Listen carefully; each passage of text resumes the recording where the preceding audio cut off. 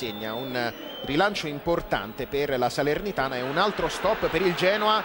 Genoa che ora rischia ancora perché Tiago autore di una prestazione da dimenticare ha perso palla a centrocampo contropiede con Bombardini. Bombardini Bombardini Bombardini 4 a 0 4 a 0 cala il poker la Salernitana nella partita in cui forse meno c'era da aspettarselo.